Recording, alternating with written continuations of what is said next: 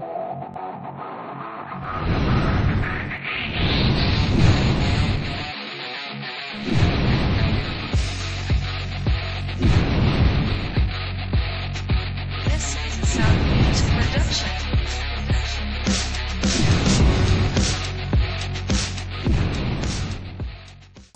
Hello and welcome to East Africa's first ever motor show. My name's Farid Kimani and this is Drive TV. In this episode of Drive TV, we're going to travel to Switzerland for the Geneva Motor Show. I'm going to give you a very important road safety tip, but let's kick it off with a test drive of the Ford Focus 2012 by two-time Safari Rally winner Glenn Edmonds.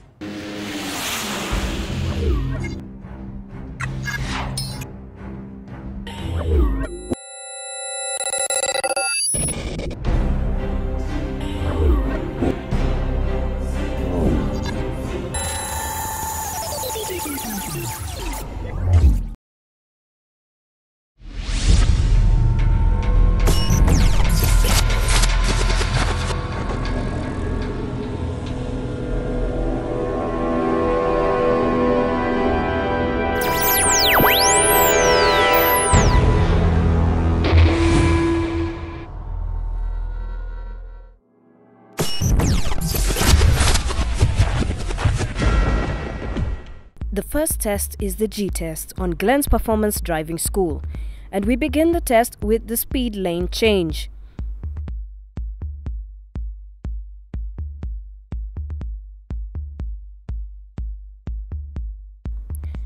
On this, the car scores an impressive 7 out of 10. The next test is the emergency brakes test.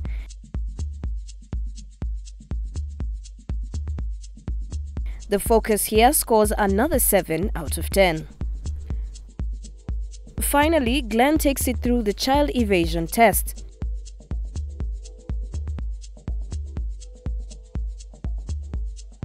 The car performs even better and achieves its highest score of 8 out of a possible 10.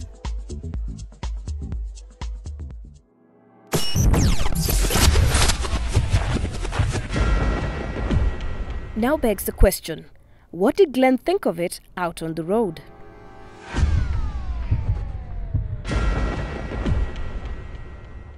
Three, two, one.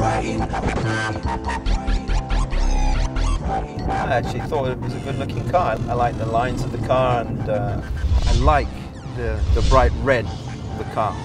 It, it sort of stands out. I was looking forward to driving it. Really like the way it feels right now. I actually think this is quite a man's car. It's, I like I like the color. I like the, the way it feels. I like its ride. It's got a really nice ride, and I like the responsiveness of this 1600 engine. It really comes in well. But I think what impresses me most is the way the steering works. It's got a gives you a really good feedback between the the road and the car. And sitting in the car, you actually feel like you you have control of it. Quite like the, the Darth Vader look here. The dashboard is set up well. You, all the gauges are eas easily readable.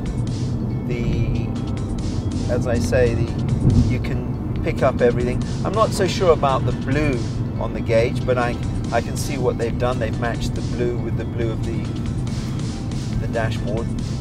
It's okay. It's not one of my favorites, but it wouldn't be something that would put me off buying the car. I mean, it's got air conditioning, it's got all the basic functions, it's got a, a really good sound system, and it has uh, anti-skid. It would be nice if you could turn it off. Um, we've looked, we can't find any buttons to turn off or anything like that. It would just be a nice option for a driver who understands a vehicle to be able to turn it off when he wants to let's face it, most drivers are not going to drive the car off road like I drive it. But the suspension is firm, supple enough to not be uncomfortable. The seats are okay, they hold you quite well. And overall, I like the car. I like the way it felt off road. I also like the way that uh, it has has a torque feature in it. So as when one wheel starts to spin, the other um, tightens up, it just makes for a better road handling car. The gearbox on this car is nice. It's nice positive feel. When you engage, it's a very positive engagement. So yeah, it's got a good feel, it's got a good engine, it's got a good drivetrain. Obviously Ford have put a lot of effort into this car and it, and it shows. For 3 million I would expect there to be a few more features on the car. I think this car is a good all-round car. It's nippy, revs well, accelerates well for a 1600. You can tell it's got the new model engine in it. It pulls well from the bottom. I think my favorite part of this car is the handling. Is the way it's able to turn, steer, brake. That's my favorite part. I would buy this car because it would be a fun car to drive. For that time when you get tired of lumbering your way home through the traffic. And now you've got a little bit of space to drive the car. Would it stand the test of time? Well, only time will tell. If we put it into the, the driving school and let all the students hammer it around for days on end, that would be interesting to see if it could take that sort of punishment. I would say to me, Ford have surpassed what I expected. When I saw the car today and started and walked around it and looked at it, my first impression was good looking car. But it's a Ford. After driving it, I would now say good looking car, good handling car. Ford, well done.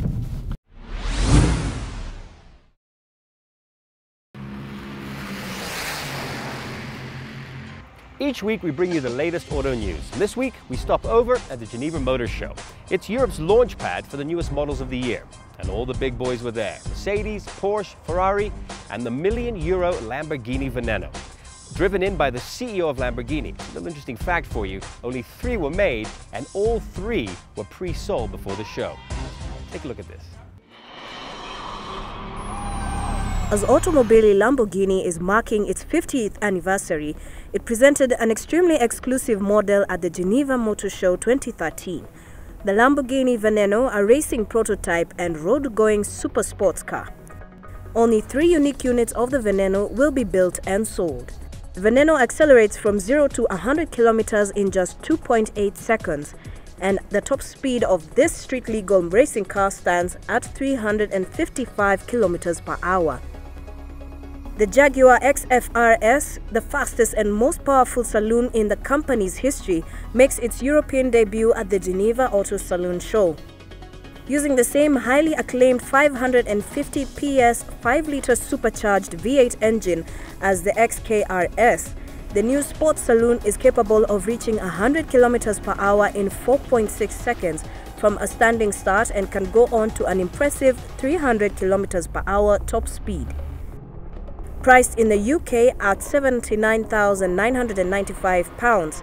That is 9,599,400 shillings. The XFRS is available to order now. The all-new Range Rover Sport will make its global premiere in a groundbreaking live drive through Manhattan, New York on the 26th of March this year. Land Rover's fastest, most responsive and most agile vehicle to date will be revealed to audience around the world on the eve of the 2013 New York Auto Show. The all-new Range Rover Sport is the latest addition to the new Range Rover family of vehicles and the third Range Rover model to be launched in two years. The new BMW Series Gran Turismo adds an innovative new concept to the successful BMW 3 Series lineup. The third body variant in the current model family combines the sedan's dynamic sporting gene with the practicality and versatility of the touring. Customers can choose from a selection of five engines ranging from 105 kilowatts, that is 143 horsepower, to 225 kilowatts or 306 horsepower.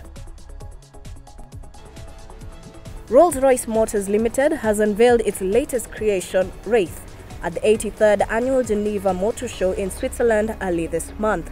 The new model from the world's pinnacle super luxury marque not only presents the trademark luxury and style of Rolls-Royce, it also presents a unique character defined by power, style and drama. Its dynamic intent can be seen in a deeply recessed grille, wide rear track and dynamic two-tone presentation.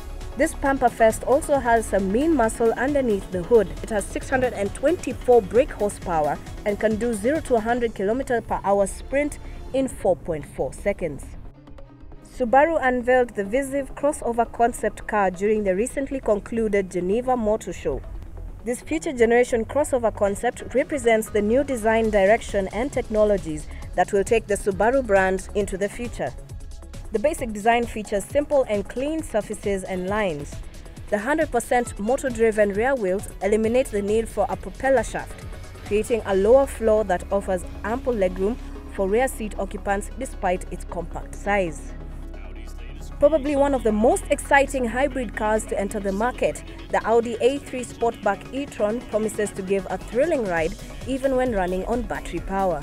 The e-tron can do 0 to 100 km per hour in 7.6 seconds and achieve a top speed of 222 km per hour while in hybrid mode. Well, you can use as little as 1.5 liters per 100 kilometers while in hybrid mode, which means you can easily do a really long distance trip on just 4,000 shillings worth of fuel.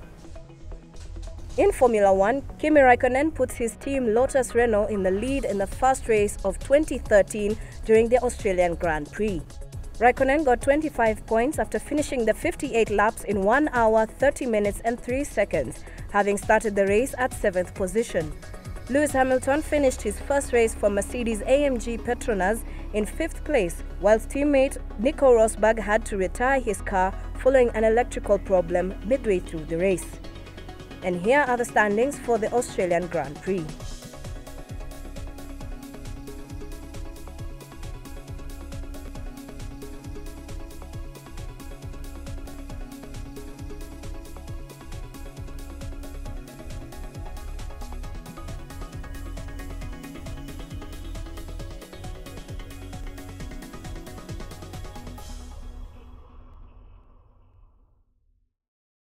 Well, we got to take a short break. When we come back, we get into a bit of road safety and we check out the brand new Ford Focus. Stay where you are.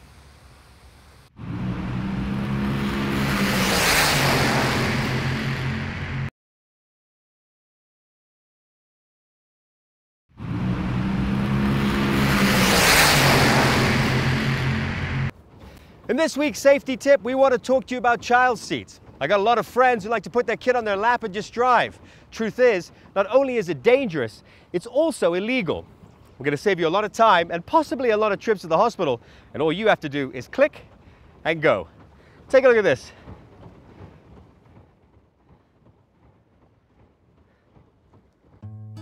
Child safety seats are seats designed specifically to protect children from injury or death during collisions.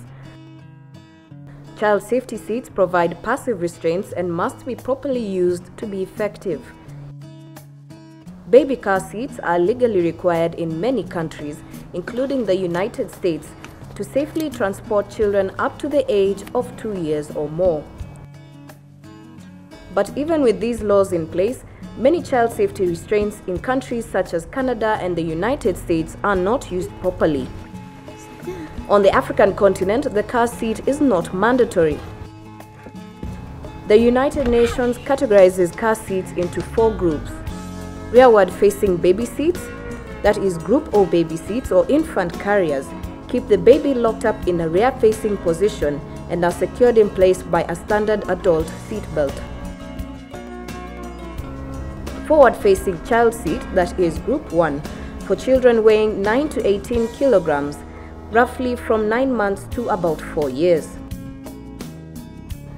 Booster seats, that is group 2, for children weighing 15 to 25 kilograms, that is roughly between the age of 4 to 6 years. And booster cushions or group 3 for children weighing 22 to 36 kilograms, roughly from 6 to 11 years. A crash test done at a speed of only 60 kilometers per hour had this impact on the dummy. Why would you want to put your child or children's life at risk? It is not enough just to have a car seat, but fitting it right could save your child's life in case of an accident. Even if your child refuses the car seat, keep using it. As a parent or guardian, you know best. Be safe and save yourself the headache.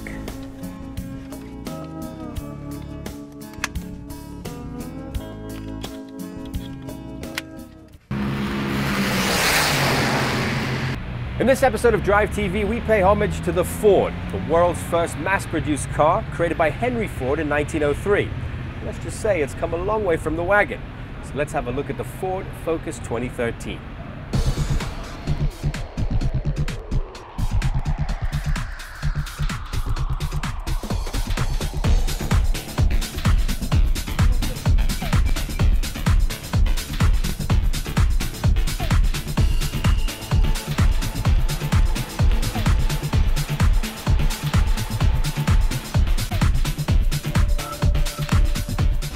We had a chance to test drive the 2012 edition of the Ford Focus earlier on in the program, but there's some key differences to this one, the 2013 edition, and I love them.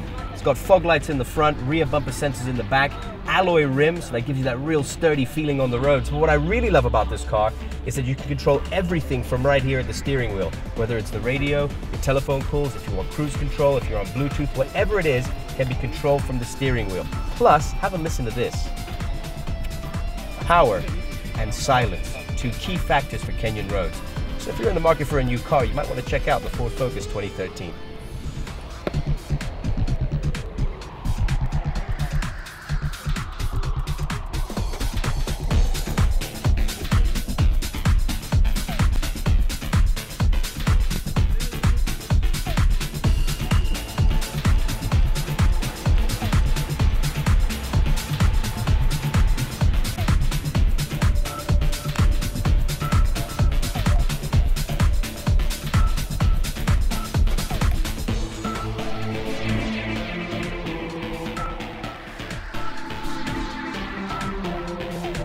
You know what I love about this car is the fact that you don't hear anything outside when you're driving it. You can hear things inside.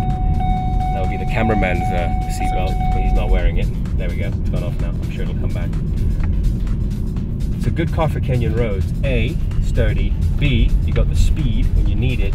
C, all the bells and whistles. The safety, fog lights at night, rear sensor bumper, uh, rear bumper sensors, which really help.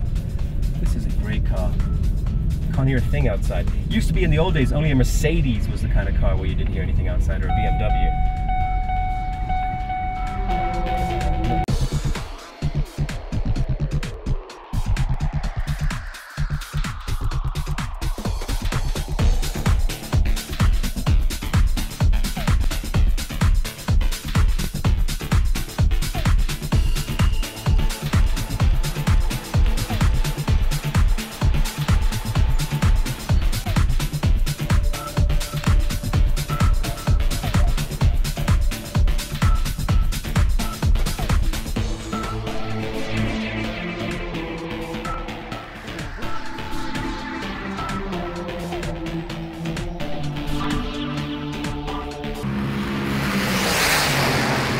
One of the best parts about living in Nairobi is 30 minutes in any direction and you're in the middle of nature. And that's why we've ended up on this edition of Drive TV.